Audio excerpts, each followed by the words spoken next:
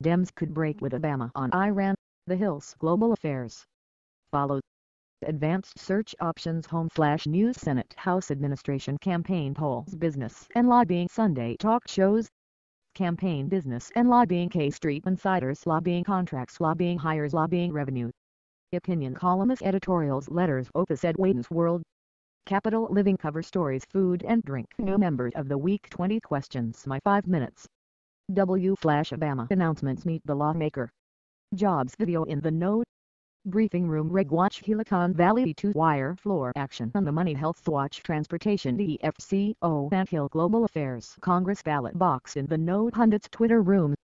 Home Senate House Administration Campaign Polls Business and Lobbying Sunday Talk Shows Blogs Briefing Room Reg Watch Hillicon Valley 2 Wire Floor Action on the Money Health Watch Transportation DFCO Ant Hill Global Affairs Congress Ballot Box in the Note Pundits Twitter Room. Opinion A B. Stoddard Brent Budowsky Lanny Davis David Hill Yuri Jacobus Mark Melmatic Morris Markos Moulitsas Robin Bronk Editorials Letters Opus EDS Juan Williams Jeff Greg Christian Heinze Karen Feeney John Feehery Bill Press Capital Living Cover Stories Food and Drink Announcements. New Member of the Week My 5 Minutes. W Flash Obama. All Capital Living. Video Hill Tube Events Video. Classifieds Jobs Classifieds Resources Mobile site Tiffany Android iPad Lawmaker Ratings. Order reprints last six issues. Outside links RSS feeds.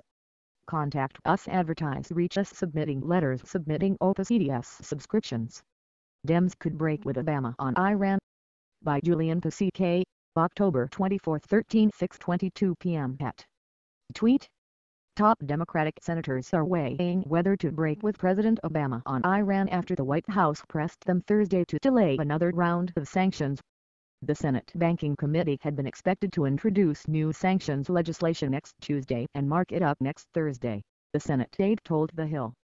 That time frame is now in doubt after administration officials urged top staffers on the banking and foreign relations panels to hold off during a meeting at the White House on Thursday.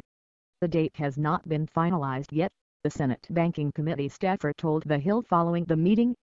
The White House request leaves Senate Majority Leader Harry Reid D. Nevada and the chairman of the Foreign Relations and Banking Committees, Robert Menendez D.N.J. and Tim Johnson D.S.D. with a tough choice. The White House wants more time to negotiate with Iran over its nuclear program, but Senate Democrats are under pressure to quickly adopt new sanctions that are expected to target Iran's oil sector and foreign currency reserves.